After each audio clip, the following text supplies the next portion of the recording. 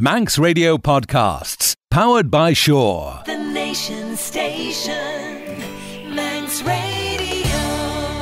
Hello and welcome to the latest look back at Talking Heads. Disturbing nesting birds, the right to call yourself Manx, the sharing of beneficial ownership information, and the local authority general election were all up for discussion on the programme this week. Here's Stu Peters with more. Talking Heads, brought to you by Magic Carpets, with the only Karndean design showroom on the island. Could the island actually cope with more visitors during the TT period? The Isle of Man Steam Packet last week hinted that visitor capacity could be addressed as part of a new Strategic Sea Services Agreement.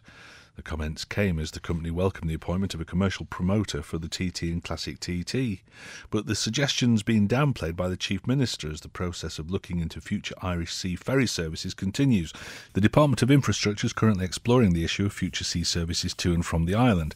So there may be an option to increase capacity for TT and Classic visitors, but do you think the island could cope with a significant increase in visitor numbers during the TT and Classic TT, or is the infrastructure already stretched by the numbers who come to those those race uh, periods as it stands? Rob's been on from Peel. I think we could cope with more visitors coming over for the TT. There's a very relaxed atmosphere during the fortnight. We could cope with a few thousand more of them, I'm sure. Not sure how the medical service is expected to cope with the proposed increased numbers for TT. This needs to be considered before increases in numbers, says Steve. Let's go. In fact, let's roll out the red carpet. We've got a, a caller whose name I don't recognise. It's Colette. Hello, Colette. Oh, hello. Hello, You, you, you've not phoned us before, have you? Uh, I don't think so. Oh, well, welcome to the programme and do it more often. Well, if I have a reason to, I will. Go on. All right. What would you like to talk about? Well, uh, I have. Uh, uh, I come from Southern Ireland originally. Oh, yeah. I've, I've been here for thirty odd years, but I have lots of family who come over with their my great nieces and nephews, and uh, you know the, the boat only comes from Dublin uh, once for the whole of the summer, just Yeah. a Tuesday. Yeah. So that means that when my nieces and their spouse uh, uh, finish work, uh, say on the on the Friday, which most people do, start their holidays the following Monday, Yeah. they've lost three days of Yeah. their holiday. Yeah. And coming back, it's Tuesday again. So people are not coming. Yeah. It's you know, it's it's just it's not a good service. No, I've heard a lot of people complain about the uh, the Irish routes. Although, in fairness, I've been on the boat to uh, to Dublin a couple of times, and it was virtually empty. Well, why why is that?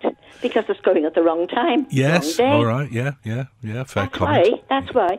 Th- This island used to be full of Southern Ireland people coming on holiday. Yes, Well, they're not going to give up five days of their holiday. no, No. Now I know they could all go to Belfast, but that's if you've got children coming. Oh, it's you, quite a drive, isn't it? It's it's a heck of a drive. Yeah, if you're going from Waterford or somewhere like that. yeah, or the West of Cork, or Yes. where have you. Yeah. I, I'm Wexford, where I am. It, it is a hell of a drive. Yeah, of and trying to keep children occupied in the car for that length of time is Are we there nightmare. yet? Are we there yet? Are we there yet? Yeah, exactly. Or, yeah. or he's hitting me, Mum, and I'm. He's So, occupying my. Oh no. so, so you think that we're missing out on a, a great number of potential tourists already by not catering properly to the Irish market? Well, I agree. I think that's a very good point. Yeah. Yes. Well, that's all I have to say. Well, phone us again. We'll try and find something else that you'd like to call us about. Thank you very much. Thank you, Colette. Uh, that was what Colette thought. Just check current prices to get here from across. Steam packet price £17.50 single. The flight from Gatwick booked in advance is just under 30 quid.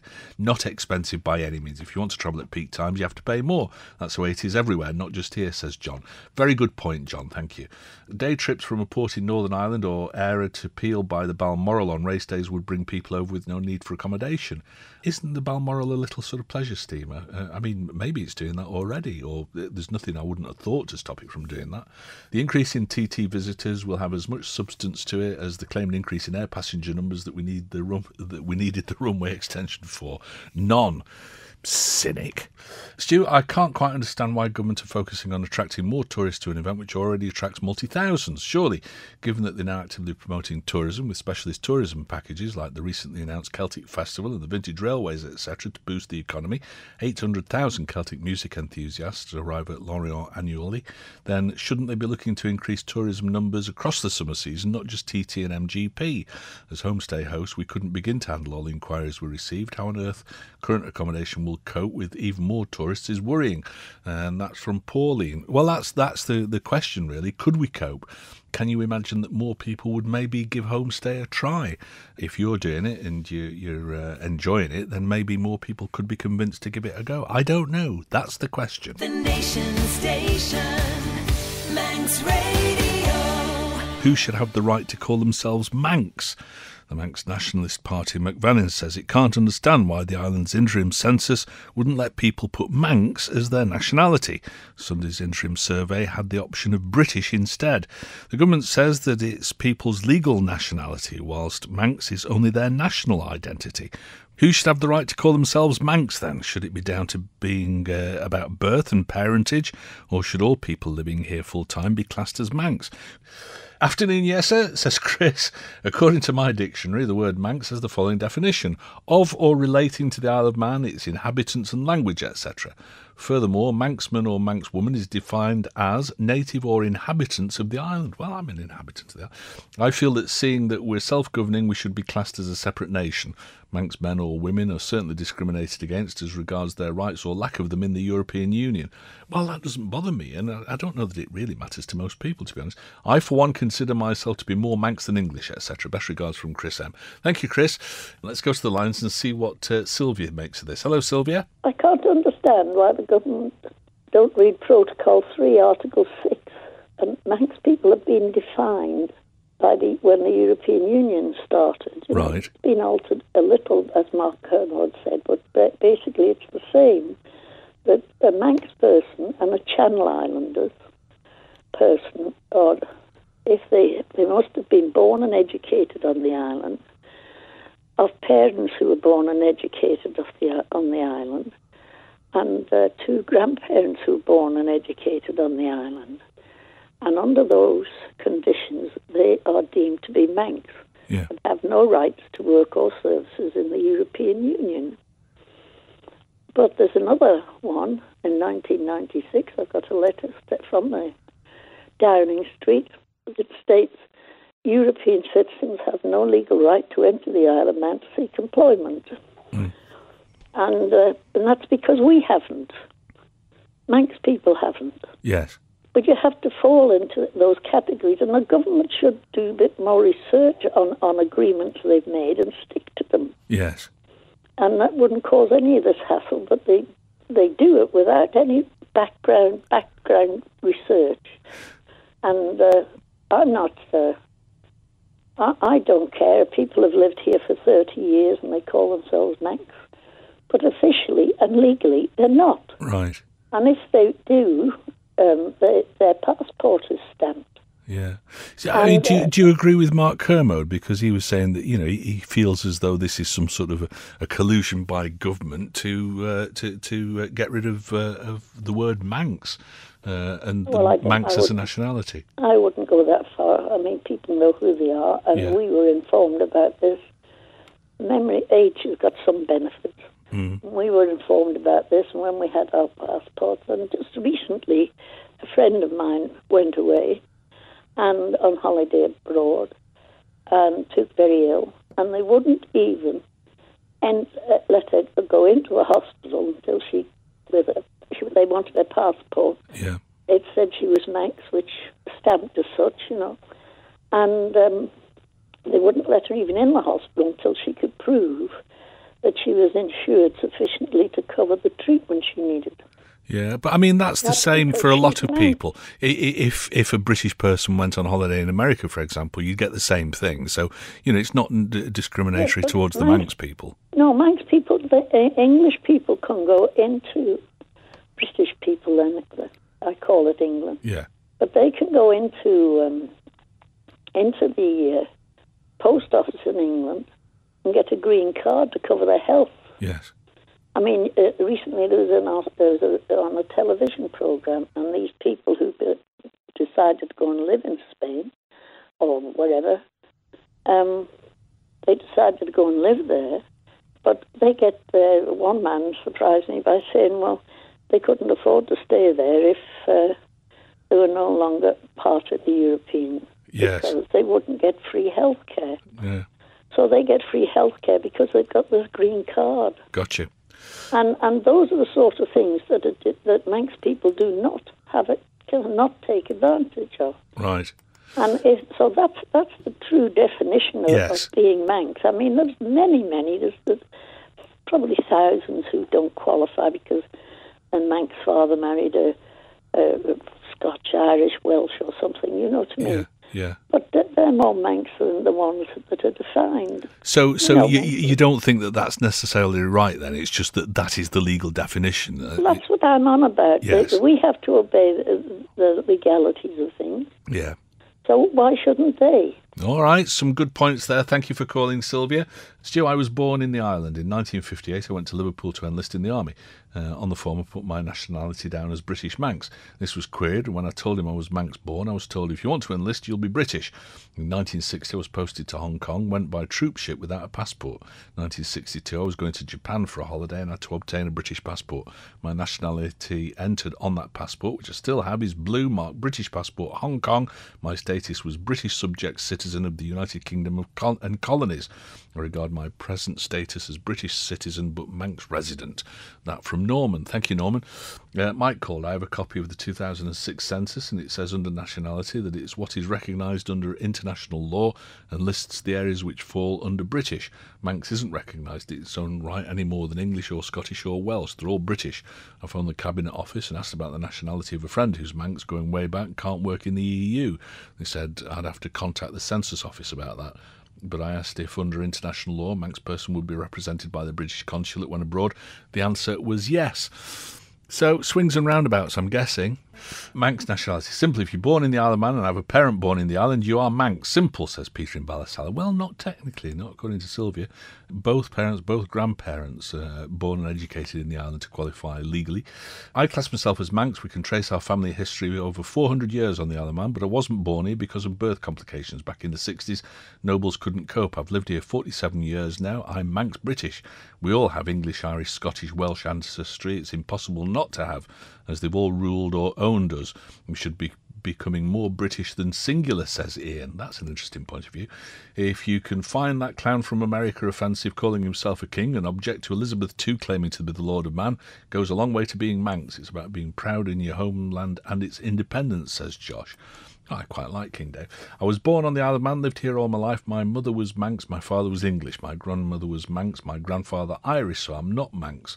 Well, what the heck am I? That's from Paul. Very good question, Paul. I've travelled all over the world for years, always put my nationality as Manx. It's never been questioned.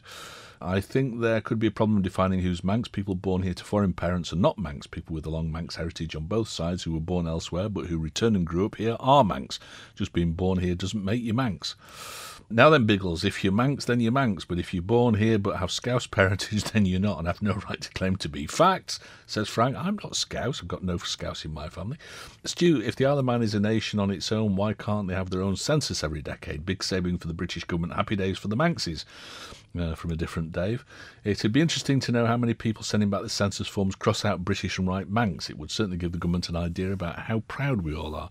Just a thought, and it would be just another column on their statistics. That from Julie. Thank you, Julie. Good point. Just living in a country doesn't make you a national. Try asking a Scotsman living in England if he's English, says Tom. Stu, I've been living here since 1982. I was born in Scotland, so I'm Scottish, living in the Isle of Man. I'm not Manx. I believe there shouldn't be an issue. If you're born here, then you're Manx. It can't be that difficult. The Manx are a strong and proud nation. In fact, uh, you're quite right. Stu, aged 18 months in 1948, my parents and I came to live here. I went to school here, worked here, and have never and would never live anywhere else. I'm Manx, says Pam. Well, not technically. Stu, what is the percentage of Manx MHKs? Manx meaning both Manx grandparents, asks Rob. That'd be an interesting uh, exercise, wouldn't it, to find out? I'm a long term resident of the Isle of Man, but I was born in England, therefore I'm English. England is part of Great Britain, so I'm also British. Great Britain is part of the EU, so I'm also European. Take your pick, says Tony. Pragmatic way of looking at it, I think, yeah. The nation station, Manx Radio. We're talking about steps to maintain the island's reputation on transparency. Earlier this month, the Isle of Man signed an agreement with the UK Treasury Financial Secretary David Gauke over the exchanges of information of beneficial ownership. The deal means the Manx government must establish a centralised database of companies owned here and disclose information to international authorities on request. But what information is being exchanged and just why has it been necessary for the island to sign up the, to the agreement? to discuss these latest developments and their implications. We're joined in the studio by Chief Minister Allan Bell.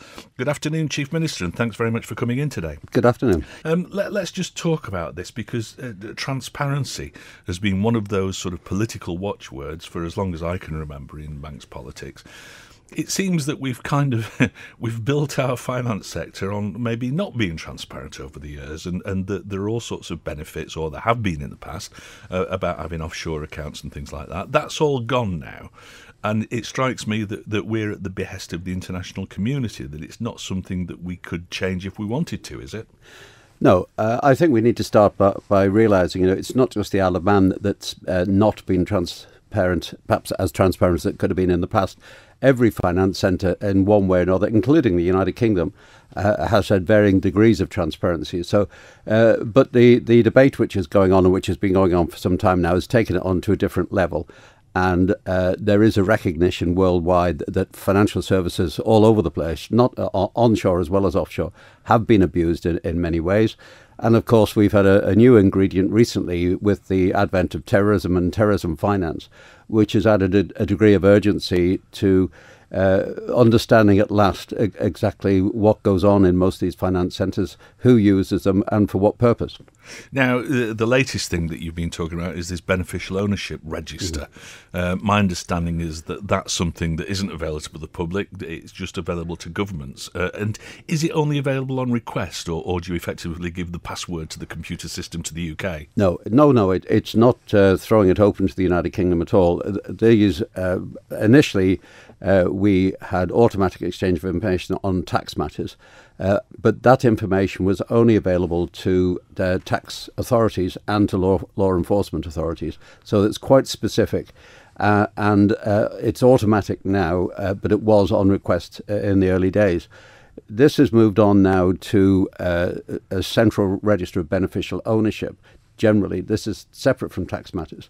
And again, this information is going to be ava- available in due course, not yet, probably not till at least 2019, to the same bodies, tax and law enforcement authorities. Okay.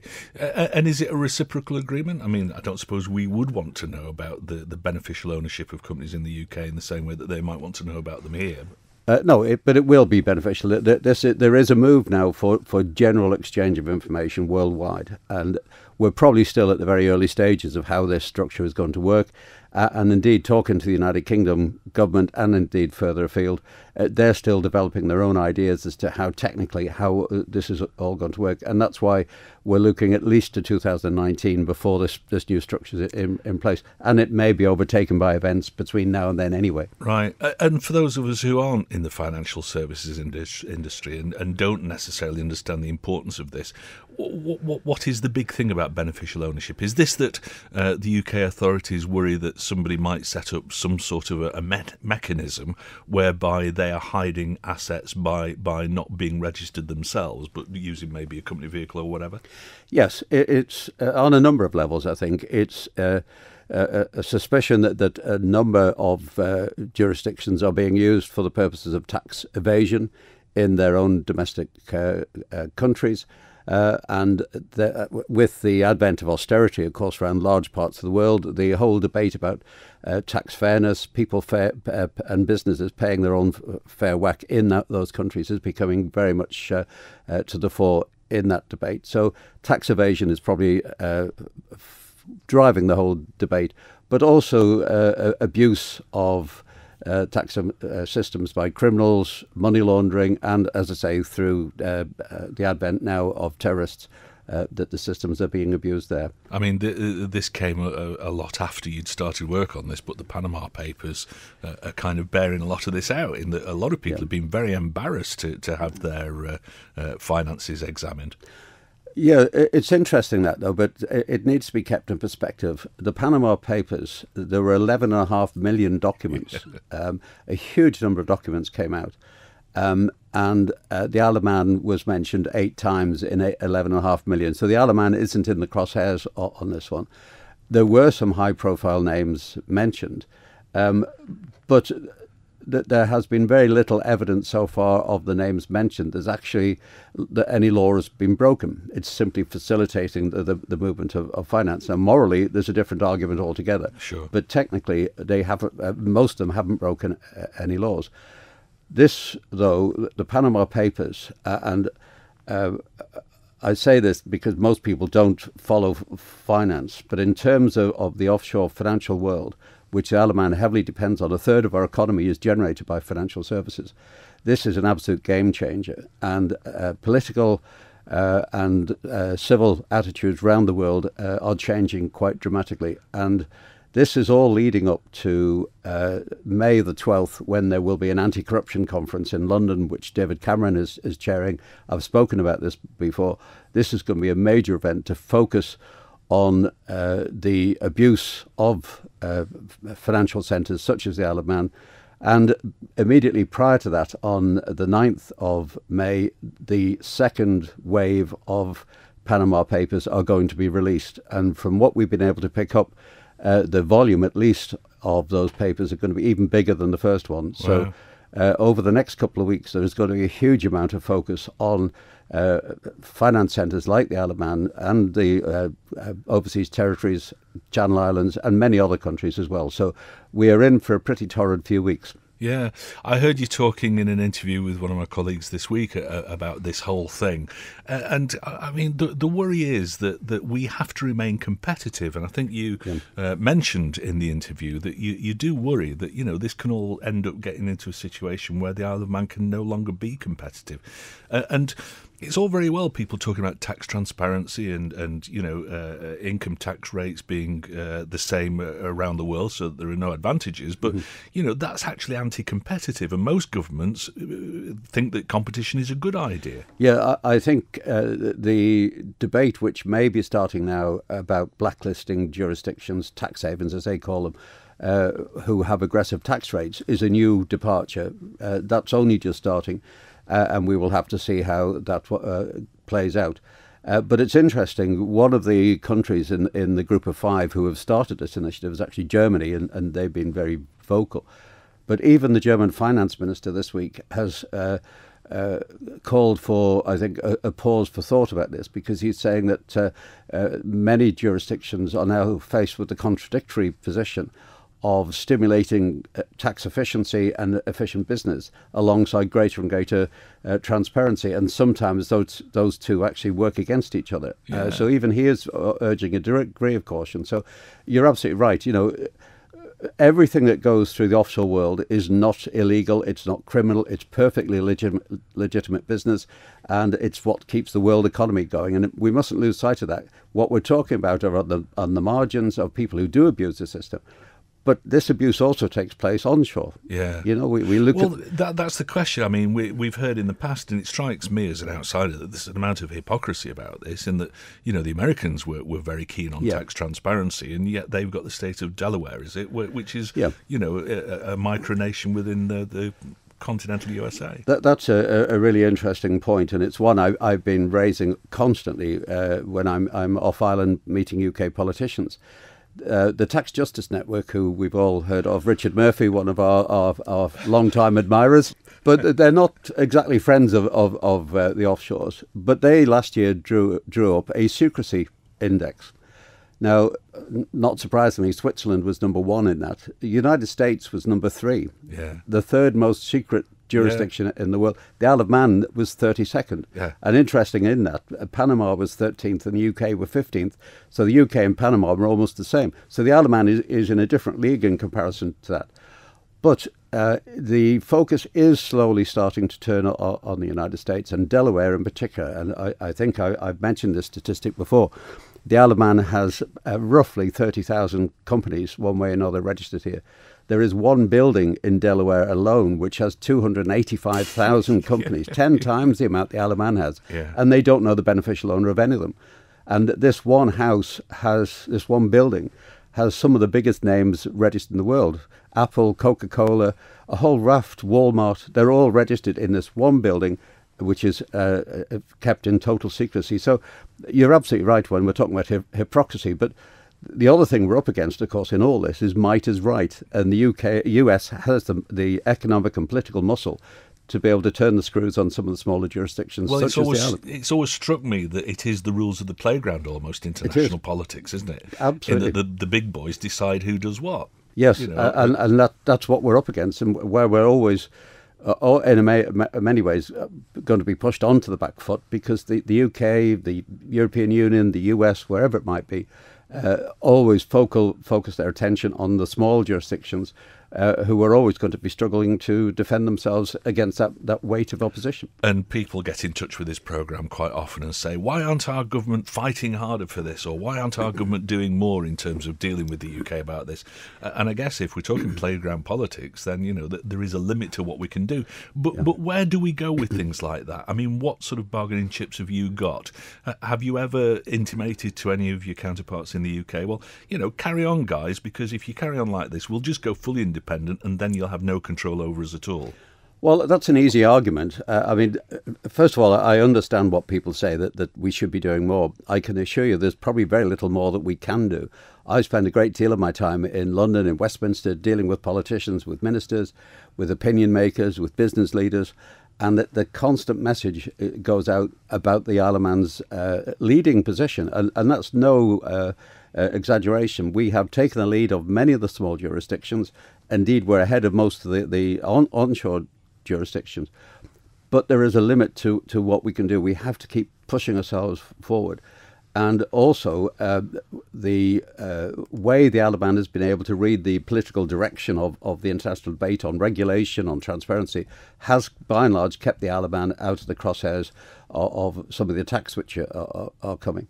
Um, but if the Man was to say, right, we've had enough, we're going independent, in many ways that'll leave us in, in an even weaker position. Right. Because at least now, as we are a dependency of the United Kingdom, nominally at least the UK have to look after our interests. If we were completely independent, there would be no restraint on them anymore. They, they can just treat us as, a, as another small country with no responsibility whatsoever, and they, they could turn the guns on us. I don't think that would happen, but um, don't think that the Isle of Man being independent is in any way going to get us away from, from this. It will probably, certainly in the short to medium term, leave us in an even weaker position. Yeah, well, that's always been the argument, hasn't it? And I, I think that you know historically, you, you you've got nationalist leanings. I think Absolutely, in many ways, you like the Isle of Man to be independent. But the the message I've always got talking to politicians about this is we're better in than out. It's like the EU Yes. debate. You know, we're better Yeah. with uh, uh, the UK than uh, than outside. But th th there might be a sort of a crossover point where that becomes less the case. Do you, do you, can you see that on the horizon? I can't actually no because you know if we're honest, if you look around the world today, and, and the the point you make about the UK and, and the EU referendum is a really good example. No country is truly independent anymore. You know, the UK referendum is as much about trying to the UK to become more independent than it is at the moment. The UK is not independent, so uh, uh, and you can see the struggles they're having to to reassert themselves put in context, the Isle of Man trying to do the same thing, we really will not make any difference at all. It, we will just be swept away, frankly. I am a, a passionate believer in the Isle of Man. As you rightly say, I came into politics uh, strongly supporting the idea of, of greater independence for the Isle of Man. But the world has changed over the last 40 odd years, and we've got to recognise that. And uh, we need all the friends and allies uh, we can get. Going independent is actually not going to make any difference at all. All right. Talking Heads, brought to you by Magic Carpets, with the only Karndean design showroom on the island. You're listening to the latest Talking Heads podcast featuring highlights from the programme over the past week. The Nation Station. Manx Radio. Should areas where there are nesting birds be closed off to the public completely at this time of the year? The police have issued a warning about nesting birds around the Ayres in the north of the island. The area is popular for the likes of oyster catchers, ringed plover, and arctic and little terns. The latter two being protected species. So, should areas where there are nesting birds be out of bounds to everyone this time of the year? Or would that penalise people who are responsible when it comes to the natural world? Should dogs be banned altogether from these areas? Or is taking your pet for a walk in the area acceptable as long as it's kept on a lead? Our first caller on this is Neil. Hello, Neil. I enjoy the countryside, walking in the countryside and cycling, etc. And I think that um, if people want access to the countryside, which I think we all do, nobody wants to go back to Victorian times where um, where access was restricted just for the for the landowner. Yeah. But um, if we want access, then I think we have to accept the rules which go along with the countryside care sort of program. Okay. And I think um, we shouldn't certainly shouldn't be disturbing um, nesting birds. It isn't it isn't just the Ayres where people walk through the birds. There's um, there's a very good nesting site at Langness along Sandwick Beach. A lot you get a lot of um, moorland birds down there, etc., nesting, and people just plough through there with their dogs and disturbing them through the spring. And um, I think it's um, quite rude, actually, and arrogant of us to have so such a complacent attitude to, to the rest of um, you know the species which are on this planet. Okay. I also think it should be extended, actually, because um, you know the farmers have a huge amount of damage done with sheep worrying, etc. And uh, the hill lambing season is upon us now, and I think dogs, especially, should be banned from the hills during the lambing season. I think it should be extended to cover that as well. All right. Or just allowed on leads, maybe. No, I don't think even they should even be allowed on leads. I mean, I was brought up around sheep. My grandmother had about two, three hundred ewes at one time, um, all all sort of breeding. Yeah. And um, if a strange person goes into the field, it it actually worries the sheep. They get used to the same people visiting them. Oh, I So when see. You have, we have when, when, you, when you put strange people in the area of sheep, the sheep worry, and it isn't the fact that um, they just get attacked by dogs. It's the fact that they get stressed, and that Yes. stress causes early abortions and things like that, or twisted lambs in the womb, and it's an absolute nightmare trying to sort it all out. Oh, gotcha. my uncle actually had experience of this, but certainly the um, the birds have to be uh, have to be protected. Yeah. I think people people fail to realise how fortunate we are in having these. Um, these terns, etc., visiting the island and, and setting up their site on the Ayres. And I think um, we really need to appreciate them and sort of uh, nurture them, not sort of um, neglect them, and certainly uh, not batter them into submission by uh, disturbing their nesting site on a regular basis. All right. Yeah. Well, I take your point. Like I say, I don't know anything about wildlife, so it's not something that particularly affects me. But uh, I mean, what about people who say, "Well, hang on a minute. You know, don't people come first? There are lots of people who enjoy taking the dog for a walk on Lang Ness or whatever. So you know, why why should they be put off so that we can have birds landing there instead? Yeah, but yeah, but the whole the whole um, the whole um, facility of walking in the countryside is to actually enjoy what's there. Right, And I the see, And if, yeah. and if the birds aren't there, you've nothing really to look at. You know, yeah, from yeah. my angle. I mean, I, I actually have um, a friend who, who who had a stroke a few years ago, and um, I collect him each year, and we go down to the. Um, to the organ recital, which is at Broad, which is a great afternoon out. He's he's quite musical, much, much more so than me. And um, I always prepare a sort of slight picnic and bit a few cakes and bits and pieces like that. And we sit on the Ayres. And last year we were actually down there in the tern nesting season, and I was horrified to see this bloke um, walk right through the, the area which had been penned off and fenced off and marked up quite quite you know quite courteously by the by the by the Yeah. warden down there. And him and his wife just walked right through the middle of the site with their two dogs and a huge mess. And I thought, how absolutely ignorant and rude. You've, you've no um. Well, no it, but some people are like that, aren't they? You know, if you mark out an area and say, you know, if you put a line in, in the sand and say, "Don't cross this line," it, it, that's a challenge to a lot of people, and it's, I've never understood that. Yeah, you know, I know. you're not telling me where I can walk and where I can't. I pay me taxes. You know, it's that sort of I know, attitude, isn't it? I know, I know. I mean, really, you can understand why uh, Victorian landowners had these had these laws around um, denying access to the countryside to protect their their grouse and their nesting birds and their pheasants, etc., and, and, other species, obviously. But um, nobody wants to turn the clock back to those sort of days, and access needs to be allowed, but also needs to be respected. I think. All right, some good points. Thank you very much for joining us today, Neil. Most people walking their dogs also enjoy wildlife spotting, wouldn't want to damage it. It's only a short time. There are lots of walking areas. I think people need clear and properly visible notices with explanation. Uh, there will always be those who don't care or have thought for others, including our precious wildlife, says Claire. Thank you, Claire. Michael says, I was once down at Niarbyl and we're near the rocky paths when suddenly Arctic terns began to bombard me. It got worse as I walked further. It was scary. Sounds like a scene from a Hitchcock film. Uh, I noticed on the ground they had baby birds wandering around, so I turned back. They were only defending their young. I completely agree with your caller. This is from Wendy regarding irresponsible dog owners, but the police should also be warning and preferably catching the trail bikers trail bikers who ride illegally on such sites. Also, a seemingly increasing number of mountain bikers who think they can ride on footpaths and areas where there are nesting birds. Okay, well, absolutely. One rule for uh, everybody in that case, I would have thought. Yes, thank you. Stu, the officer interviewed didn't mention the penalties involved under the relevant legislation, the Wildlife Act 1990. It's a fine of up to £5,000 for each bird, nest, or dependent chick disturbed. Wow. A court can also order the forfeiture of anything used to cause the disturbance, such as a vehicle or an animal, which in relation to dog walkers could clearly include the family pet. Those not considering abiding by the restrictions may want to consider that, says Dave. Yeah, absolutely. Good point. £5,000 for each bird nest or. Well, you nest of half a dozen of them, you're 30 grand in the red immediately if you sort of stumble upon them. But as with most of these things, what we need are a couple of people to be prosecuted under that and given big fines to get the message out to other people that, you know, it really isn't acceptable. Arctic term terns are vicious when they're defending their young and will dive bomb anyone who gets too close. If they manage to strike your head, they can draw blood. Far better to keep well away, says Jenny. I'll stay watching the telly, I think. I'll stay that far away from it. Stu, motorhomes have to be careful not to harm birding environments. The restriction from certain parts of the island means that areas are safer from all the discarded junk and obvious hazards of a three tonner. That from Ophelia. Thanks for getting in touch. I've lived near and walked across the Ayres for years and I've never seen a trail bike being used there since it was banned. Terns being disturbed down there is one thing you can't blame off road bikers for. That doesn't seem to put your contributors off. Some people just don't have enough to do, says Dave. I'm not getting involved in that one, I don't know. The Nation Station. Manx Radio.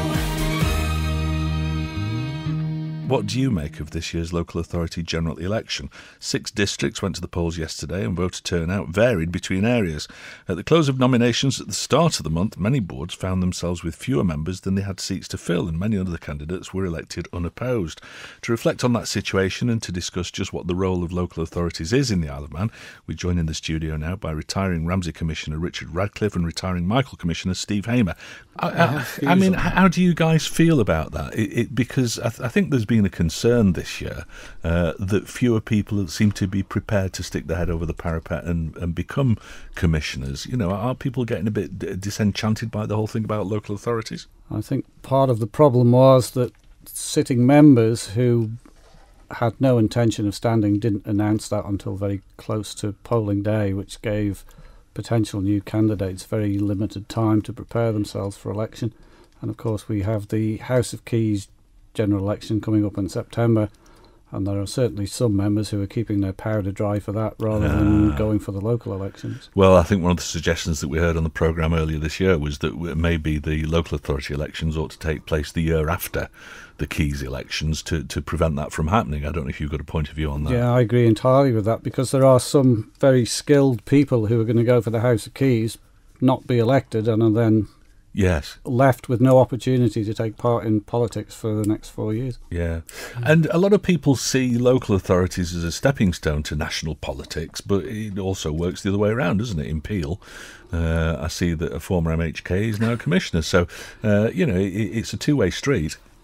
It certainly is, yeah. In terms of MHKs, it's a great apprenticeship for them because they become used to the frustrations of working with working with government and the, and the machine in there that seems to be uh, designed for its own protection. There seems to be an amount of cynicism there. Is that why you're, you're retiring from it?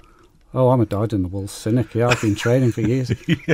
Yeah, I mean, what what what was being said there, I would uh, uh, agree with in that I believe MHK should have done a stint in local authorities Yeah. beforehand, because too often there are uh, uh, there are debates in in Tynwald where clearly, had they done something in local poli- uh, uh, you know local authorities first, they wouldn't be saying what they're saying. Now, as far as uh, you uh, pointed out, Stu, there are. Uh, I think there were six, uh, only six places, uh, commissioners or wards where there were votes. That's very healthy actually, because unless you uh, have uh, a vote, you don't know. There's no manifestos being produced. There's no hustings to uh, to know what people think. Um, so, and then if there is a vote, you've got an indication of of which are the popular people for the community uh, and maybe to help elect chairman. So you actually need the sort of energies of younger people and tempered by the experience of older ones and a mix of women and, and men. So, Yeah. Uh, yeah. Well, uh, let me ask you about this young fellow that's been elected in Laxey then, uh, Liam Miller, I think he's called. Uh, 85% of the vote. Chief Minister, we heard in the news, was congratulating him, saying it's a great day for democracy and it's great that we're getting young people involved in politics. At 18, I don't know if I can knew how to tie my shoelaces, to be honest. Is it not too young? You know, is the, the whole idea of politics people with experience, life experience, able to help other people?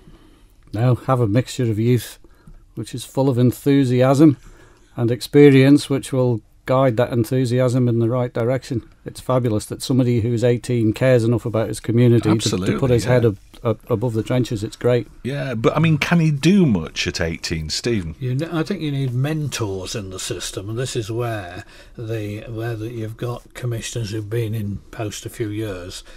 I've been in 12 years, and, and there are others longer than that. And every day you're learning something new, uh, but eventually you've learned not to reinvent the wheel, Yeah. and you know which areas of government you can perhaps help or inf- get help or influence, and you know others that are going to take years to get what you're trying to do. Yeah. So they come in. You can come in with great enthusiasm. Uh, uh, but but don't get disappointed if you haven't changed the world within six months. you Yes, know. yeah, yeah, yeah. Well, I suppose that you know, pet owners will understand this. If you if your dog or your cat's getting on its last legs, the best thing to do is to buy a puppy or a kitten because that sort of wakes them up a bit, doesn't it, and gives them a uh, a purpose again. So maybe that'll work like this. Yeah, uh, Richard. I mean, what do you think about this idea of, of five local authorities rather than what we've got at the moment? Do you think that that would be a benefit, or, or would it actually work against people? It would uh, save on audit costs and things like that, but there are also a, a huge amount of joint boards as well that perhaps we don't need. But it, if you had one board dealing with the, the major items such as housing and Yeah. then subcommittees that keep their local input, that would be the best model. Well, I think you're doing something like that in the north, aren't you, in Ramsey? We're trying to put those together, yes, we can do things like the civic community site housing that we've mentioned. Re- refuse is something that we could certainly all contribute to uh, reducing costs on. What are the biggest challenges uh, that the new commissioners are going to face, say, in Ramsey? uh, finding out where they are and dealing with government departments. They will come in with great enthusiasm and then find that they come up against uh, roadblocks in government departments. Uh, but why is that? You say that, but why is that? Is that because you've got you've got ministers and you've got you know MHKs protecting the fiefdoms, or you know what? what why is there this constant sort of battle? you hit the nail on the head. There are ministers who are certainly protecting their fiefdoms, but you also have civil servants who see that if services are farmed out to local authorities, that their jobs will be at risk. So obviously they're they're doing their level best to protect their jobs. That's why we come up with this nonsense of means testing every service. You have the perfect way of means testing, and it's called income tax. Yeah, And if people don't earn enough, then pay them back through the tax system. yeah. It's one calculation. You, you don't need an army in every department working it out. So I- mean, is central government saying one thing but meaning another then? Because you know they're constantly talking about uh, actually devolving more of what they do to local authorities. Is that them just trying to save money from their budgets and and drop it on your toes instead? They are trying to pass costs to the local authorities, but still keep control off it themselves. Ah, and therein lies the rub. So you'd be prepared to take it on, but if you were given control of it, is that the the headline news? Absolutely right. Yes. Yeah. Okay. Fair dues. I mean, some of that they, they would say is well, we need a common standard. Yeah. Uh, it's not quite true. I mean, we we've sat down uh, uh, with uh, local authorities from around Peel, Patrick, all through there, and said let's look at things like uh, refuse collection. Uh, is it if we were to combine, is it cheaper? Yeah. Well, the short answer is if you get a an urban authority, it's a darn sight cheaper to run a wagon down a street picking up one bin after the other Of course it is. than in the rural areas where you're going up farm lanes and other things. Um, so the the short answer is at the moment, with the smaller authorities, they should, if they've done the sums right, got each each one's got the best deal Yeah. for that area. Uh, the issue uh, I think that Richard mentioned is that where you've got central control. Um, there's a point at which I'm happy that uh, experienced civil servants are there for advice, but it's when they try to control things, and there were talk of. Uh, not all that long ago, trying to bring an all-island refuse arrangement Yes. where they start work in the morning at the incinerator and then drive out to Ramsey and all of this, um, and and they really weren't thinking it through. Um, and, uh, and again, they was talking of a weekly collection that might be needed in some areas, but we, we we don't we don't want need any. If you want it, if you need more than one bin, you can buy a second bin Yeah. and have it emptied in a fortnight. There's an awful lot that seems to sort of make people stumble and trip up and take forever to resolve that are actually just common sense answers, aren't they? And that's a, a prime example of that, really. Yeah. So, uh, what about uh, the other call that we hear quite often is that we ought to have a single uh, all island rate. So, are you saying that because each area is different, it's got different demands different ways of doing things, that that would never work, or do you think that that would be fair? No, I don't think it will. And I mean, uh, I'm looking as a rural authority. We have virtually no business income, business rates. If you look at Douglas, which is often you've heard bleating, and it went through Tynwald not long, two years ago, is to say, well, you know, the rest of the island ought to f- help fund Douglas. Yeah. Uh, but what about all the the rates income from the shops and, and other businesses in Douglas? Why are Douglas rates what they are? That's the real question, Yes. not, not the other way round. Why uh, what why are the rurals not paying the way because the rates are lower? Yeah. Have we got some comments from our listeners? I think we have. Predictably, I'm absolutely thrilled as far as the Castletown election is concerned. This is from Nick. It's excellent to see more than half the commissioners are new faces, all with good ideas. There are one or two faces that are no longer featured, which is most certainly a huge relief. It's exactly what Castletown needs. Hopefully, we have a bright future. Um, it, it begs the question, you know, with with um, you know a pretty much all new board, uh, is it going to take a, a period of years for that to be a, a proper working board? It will take them certainly 12 months before they are familiar with the way everything operates, but that doesn't mean it should curb their enthusiasm for changing things. Obviously, budgets, etc., have been set for the next 12 months. Now is the time to start sorting out your priorities for next year if you're a new member. Right. Okay. Talking Heads, brought to you by Magic Carpets, with the only Karndean design showroom on the island. That's it for the latest look back at Talking Heads. Our thanks as ever to everyone who took part in the programme. If you'd like to get involved in the discussion yourself, you can call, text, or email between midday and 2 pm on weekdays. Or you can share your thoughts on the Facebook page. You can do that anytime, and that's Talking Heads with Stu Peters. You can listen back to each day's programme in full using the on demand section of Manx Radio's website. And the website's also where you'll find a daily update of what we're discussing on the programme. You can also keep up to date with that information by liking the Facebook page or following Stu Manx on Twitter. And if there's anything you'd like us to discuss on the programme, why not suggest it to us by emailing talk at manxradio.com. And again, you can do that at any time. But that's it for now, so until next time, goodbye. Don't sit in the slow lane. Join the fast lane right now with Sure's all new Superfast Plus broadband. Enjoy more bandwidth, amazing speeds, and the best value on the island from just £23.95 per month.